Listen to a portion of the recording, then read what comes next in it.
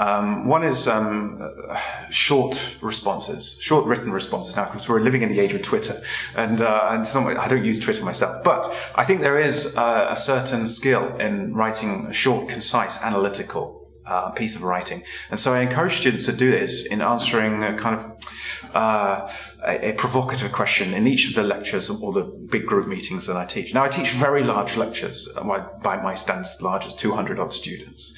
Um, this is a way of encouraging them to come along because, of course, if you put assessment into the context of the large group lecture, then you'll get a better attendance. And attendance is generally up to 90% all the way through the course, whereas in many cases that used to tail off after the um, you know into the final third of the, of the, course. So this is this is one benefit. Uh, this is one way in which uh, this has been effective. But the way in which it's really effective is in motivating students because they supply their own perspectives on these uh, questions, which pertain to the next lecture topic. What I do in the meantime, in between, in between those meetings, is analyze that data and I produce uh, representations of it in graph form and also textual form. So when students come along to the next lecture, I embed their, their feedback into the lecture uh, meeting.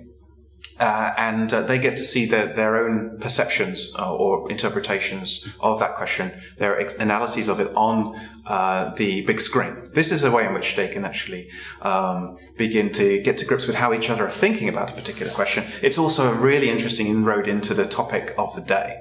Uh, so, for example, we talk about nationalism.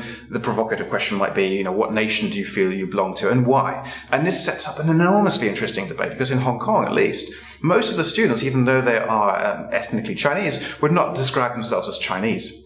Uh, they would just prefer to describe themselves using other terms. They don't identify with the Chinese nation in the way that it's contemporary, uh, conventionally understood. And it's a fantastic inroad into that whole uh, area.